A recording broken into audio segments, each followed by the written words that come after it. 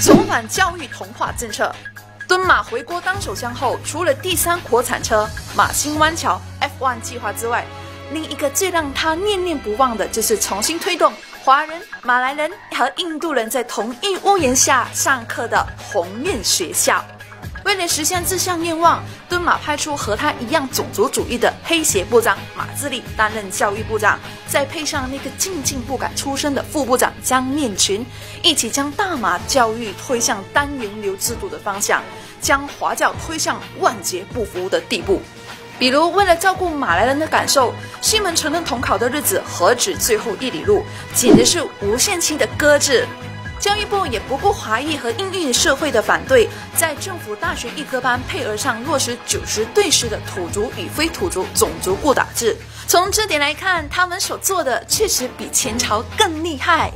无论华裔和印裔怎么反对，教育部最后还是执意推行华小和淡小认识早一文字，以温水煮青蛙的方式同化华小和淡小。原来，所谓新马来西亚，最终是要华人和印度人都放弃自己的文化特征，就像林冠尼一样，不再承认自己是华人，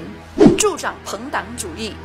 西蒙在大选宣言第二十二项承诺，西蒙政府将确保受委任为国家和州政府关联公司的董事是有信誉的专业人士，而非基于政治关系而受委的。然而，却多次遭揭发西蒙任人唯亲，特别关照自己的朋党。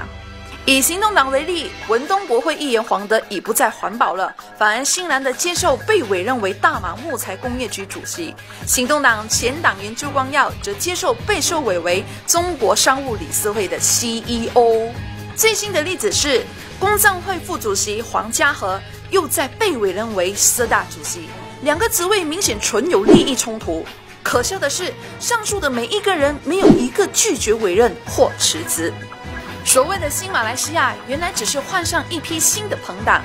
以前的反对党升官发财后，当然已经静静不敢出声。破坏体制改革，敦马公然违反西蒙宣言第十四项承诺，革新反贪会所阐明的反贪会委员的任命将由国会以民主的方式制定。但是最后，敦马在绕过国会的情况下，擅自委任公正党的拉蒂巴为反贪会主席。一来，他凸显了首相权力独大的滥权现象，这对于民主的体制是非常不健康的。二，也令人质疑的是，有公正党政治背景的拉蒂法在执行任务时是否有公正性？如果新的马来西亚真的下定决心要改革，为何西蒙却违背承诺，任由政府沦为一个马哈蒂的政府，来破坏整个体制的改革，摧毁司法公正？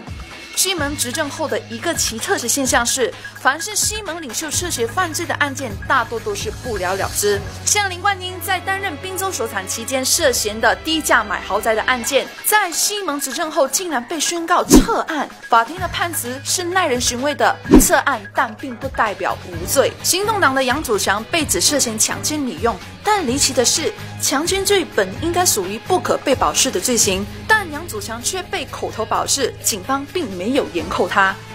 男男性爱短片也是如此，明明已经抵触法律，但是总警察长竟然以男男性爱是私事来敷衍带过。最后，这个案件也不了了之。如果是前朝政府的年代，早就被反对党骂得狗血淋头，还有配上各种示威抗议，然后要求部长们下台。看来五零九之后，马来西亚并没有变得更好，反而越来越糟糕。西蒙所吹捧的新马来西亚，只是西蒙用来洗脑人民和自欺欺人的一场春梦。